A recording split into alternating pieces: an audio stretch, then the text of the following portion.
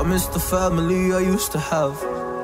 I feel like everything's so different now. Sitting by the fire as we'd watch the flames burn out. I miss the days I wasn't afraid. Now I always have my guard up. Hands on my face, I learned to cope with the pain. I know that people think I'm trying to get attention.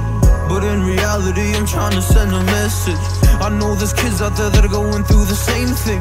And if you're one of them, I hope to help your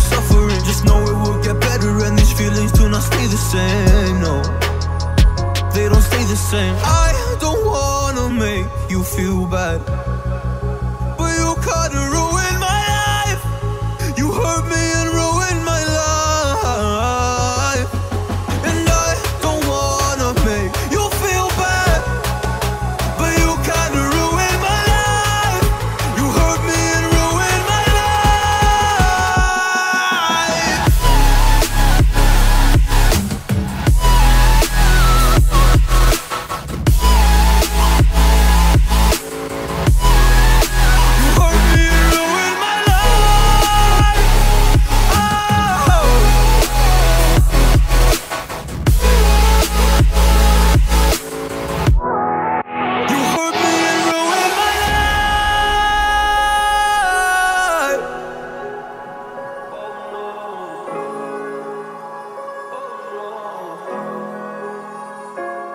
I lost a couple friends on my way up.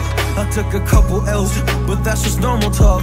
I popped a couple pills, but they don't do much. And now I take Prozac in the morning with some other stuff. But why did I get into this? I feel like this is all a dream. But when I wake up, look around, this isn't even make believe. So I sit in the corner thinking back to all the memories. I grew up with these fake beliefs. By time I find a remedy, I don't wanna make you feel bad, but you cut around.